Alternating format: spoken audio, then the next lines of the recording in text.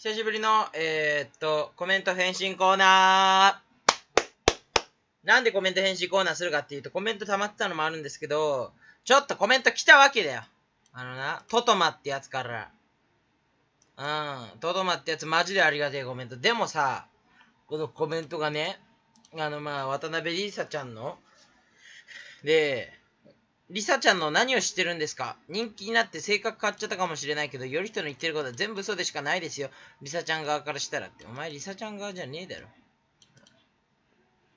その渡辺リサに物申すって動画見てくれましたが、その動画の最終的にはまあね、ね最終的にはネタ動画にしたんですよ。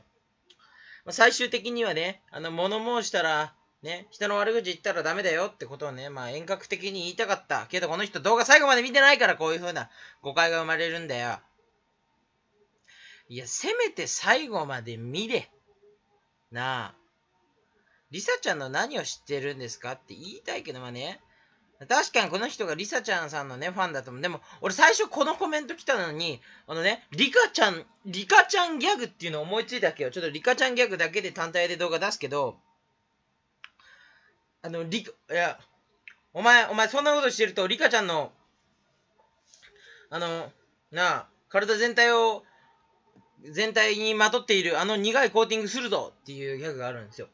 で、それのギャグ面白いなって思ったら、リサちゃんの何を知ってるんですかって言われて、え、リ、え、リ、あ、リカちゃんギャグダメだったかなって思ったらリサちゃんだったんですよ。渡辺リサについて学ますぞってね。あの、再生回数稼ぎのクソ動画なんですけど、うん、まあね、まあ、これでね、リサちゃんの何を知ってるんですか人間なんて性格変わっちゃったかもしれないけど、で、その性格が悪くて、ね、あの、天罰が下ったんじゃないかって動画なんですよ。まずね、ね、言ってることがおかしいんですよ。より人の言ってることが全部嘘でしかないですよっていう。ね、で、その、嘘っていう証拠がわかんないし、確かにより人が嘘だ。確かに証拠もないよ。より人も。でも、あんたも証拠ないんだよって話。うん。だから難しいんですよ。悪魔の証明じゃないですけど、まあ、悪魔の証明じゃないな。今のは間違えました。ちょっとかっこいいこと言ってみたかったんだ。こう、こう、これ、この、この動きあんじゃん。ちょ、ちょ、ちょっとかっこいいこと言ってみたかったんだっていうのは、なんかこれね。よいしょー手刀でした。はじめ社長がたまに使うこういう決めポーズじゃなくて、手刀でした。ちょっと今日はね、テンション高いで、久しぶりの動画だからね。いや、でもこの動コメントについては言いたいんですよ、本当に。いや、確かにより人が言ってることが全部嘘でしかない。って言われても、リサちゃん側からしたらって言って、あなたがリサちゃん側なのかっていう証拠と、ね、人気になって性格が変わっちゃったかもしれないっていうのも、性格が変わったか前と後でどうなってるかっていう証拠もあるじゃん。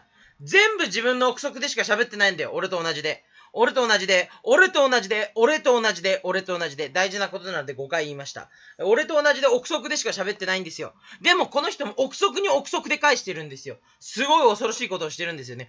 憶測の飛び交いですよ。うん、飛び交いってね、飛んで買うみたいな恐ろしい言葉が生まれましたけども、あのね、今なんで僕がこう画面、こう中間画面になったかというと単純にね、ツイキャスの通知を消したってだけですね。あのツイキャス通知うざいんで、もうツイキャス通知受けません。えー、ツイキャス、えー、っと、つ、通知リスト。通知しないでほしいもん、ツイキャス。うざいんだよ。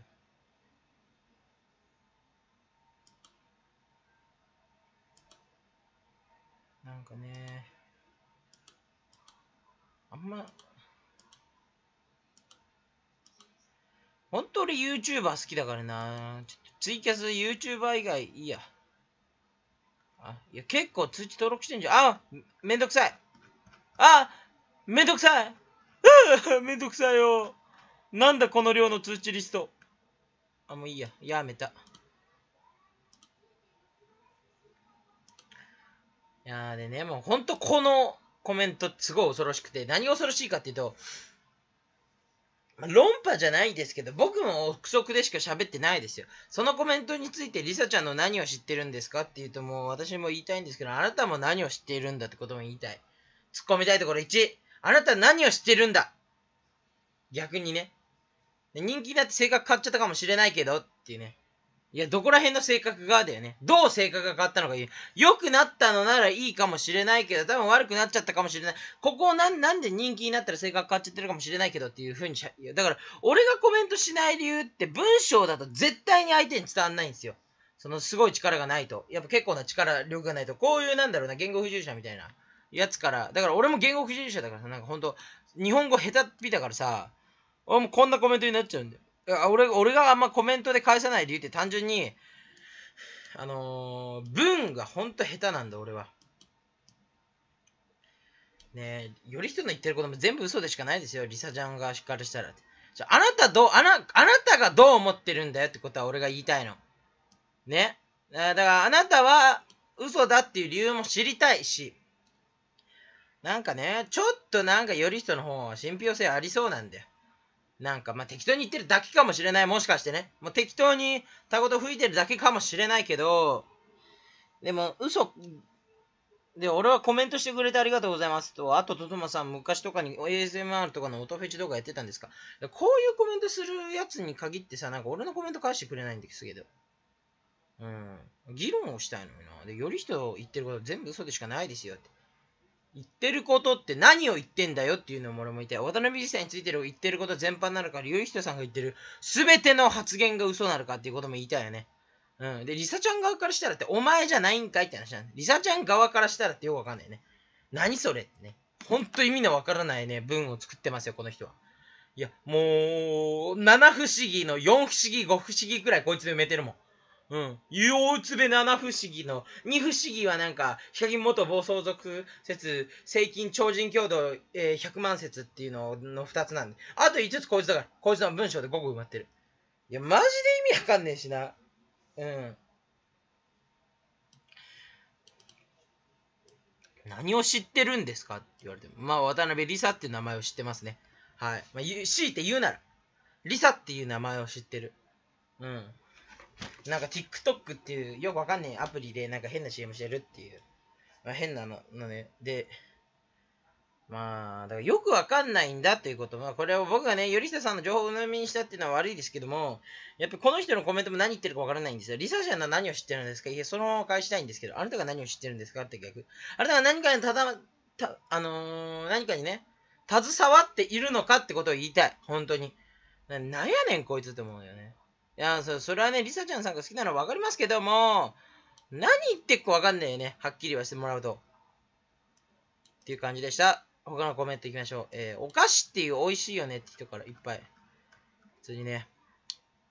こういうコメント返信って言うけど、俺はこういう人のコメントしか返信しないんですよ。と言いつつね、なんかあるかもしれない。えしかも視聴者への気配りができできている。お菓子って美味しいよねさん。ここから下はね、なんかお菓子って美味しいよねって人、気配りができている。ありがとうございます。これはなんかその広瀬摂取してみたって動画で連投してくれてるありがたい人なんですよね。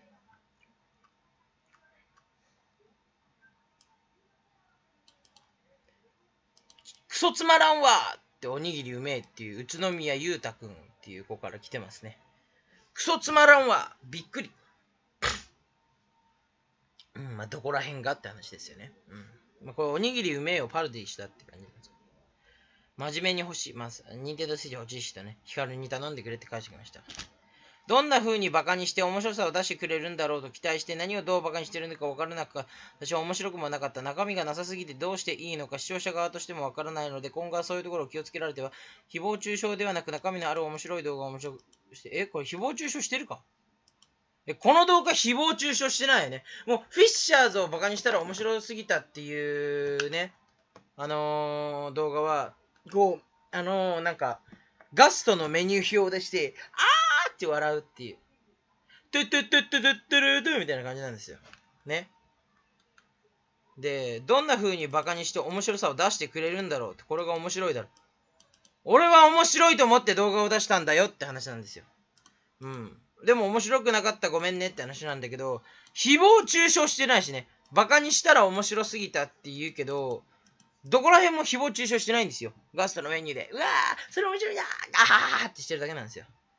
うん。で、誹謗中傷もしてなかったし、何をどうバカにしてるのかっていうと、何でも笑ってるよなってことが言いたいんですよ。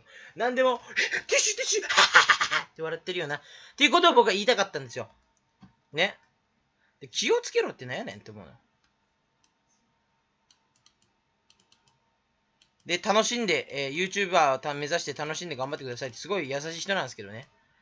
えー、一見正論風に見ますけど、全然正論じゃないんでね。あの、何が言いたいかっていうと、あの、僕が言いたかったのは単純に、まあ、その見学越しでやっぱやりたくなかったっていうのありますけど、あの、何をどうバカにしてるのか分からなかったし、面白くなかった。面白くなかった分かりますよ、全然。ね、ゼロ歩譲って分かりますよ。譲らなくても分かりますよ、全然。面白くなかったっていうのは、面白くないんだねっていうのは分かるんですよ。僕は面白いと思ってもあなたは面白くなかったのか、分かりました。それも一つの意見ですねって分かるんですけど、どうバカにしてるのか分からなかったっていうのは、やっぱ、そのね、ガストのメニュー表で笑うって何ってことを言いたいんですよ。で、なんでなガストのメニュー表っていうのをフィッシャーズに置き換えると、フィッシャーズって何でも笑ってるよなってことが言いたいってね。おっと話がループし始めたので、これくらいにしときます。えー、アスミン大好きっ子さん、えー、っと、え、これから YouTuber 目指そうと思ったけど、あなたの動画を見て絶対に勝てる気がしないからやめます。これ皮肉で言ってるんでしょうかねねよくわかんないですよね、こういう。こういうなんか多分皮肉で言ってるんでしょうけど、その、まあ、皮肉じゃないということにしておきましょう。何でか、何が勝てないんでしょうかね。やっぱこれ、こういうところをしっかり明記してほしい。キモさで勝てないんだったら、おいって言ってやりたいですけどね。え、たびたびキモいって、多賀光一くんっていう子がいるんですよ。たびたびキモい。ただただキモいか。こう、ただ、ただキモいと。ただキモいって。何やねん、それって。ね。ただキモいって言われても。自己完結してるもんをね、コメントにしてくれないと。あ、まあね、終わりましたね。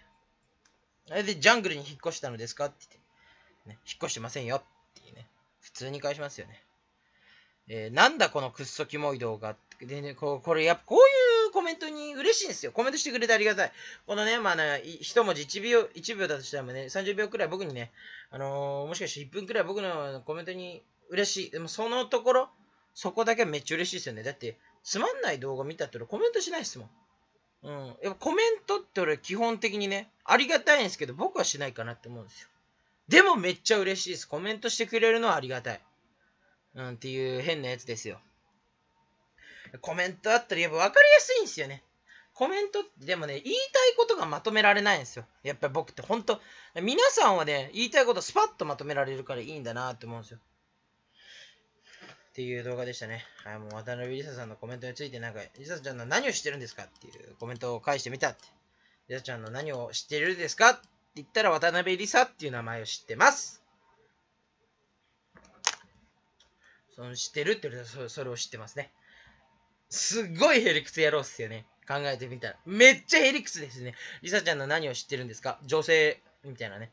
うざってこいつ、こいつ、怠慢できたら、うぜえなお前って言って、ブーンってね、もうヤンキーだったらぶん殴られちゃうくらいのうざさ、やめていきましょう。では、次回の動画でお会いしましょうバイバイ。